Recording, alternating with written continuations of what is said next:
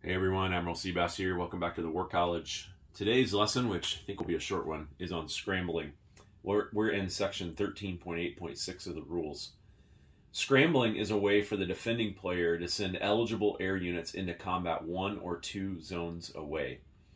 Air units eligible to scramble have the scramble range capability listed in the unit table, along with the number of zones they can scramble.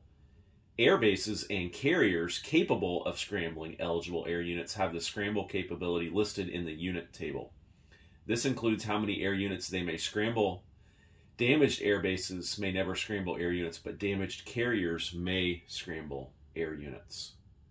So, in summary, the scramble ability shows whether and how many air units an airbase or carrier may scramble, and the scramble range ability shows how many zones a scrambling air unit may scramble. Movement of scrambled air units occurs right after the attacking major faction has completed air combat, all combat movement, and U.S. has resolved paving strikes.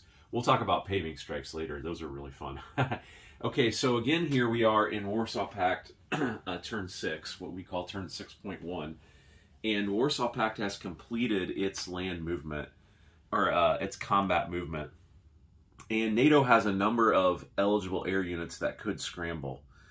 Uh, NATO has a super carrier here with two fighters and uh, an air superiority fighter. A super carrier uh, can scramble up to three units, and fighters can scramble one zone, and um, uh, air superiority fighters can scramble two zones.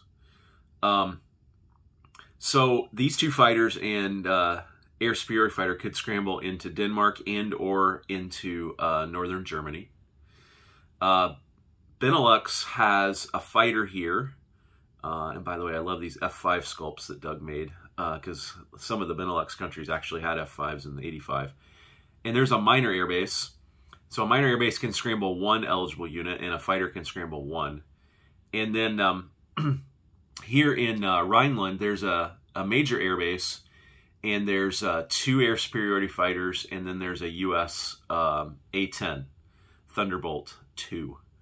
Uh, they can all scramble. Uh, they have scramble range as well. Um, and so at the end of the day, the NATO has decided it's only going to scramble from the supercarrier, and um, it's going to scramble um, all three into Denmark. Um, the uh, Warsaw Pact has brought a number of helicopters in to Denmark, and uh, NATO is going to try to kill those if it can.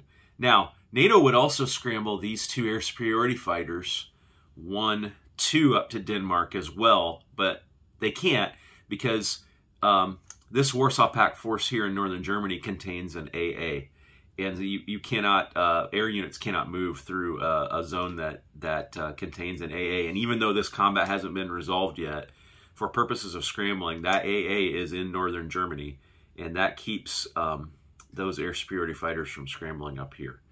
So um, that is uh, basically a summary of how scrambling works and a little example there for you in terms of scrambling. It's a lot of fun and I uh, hope you enjoyed this lesson. Take care.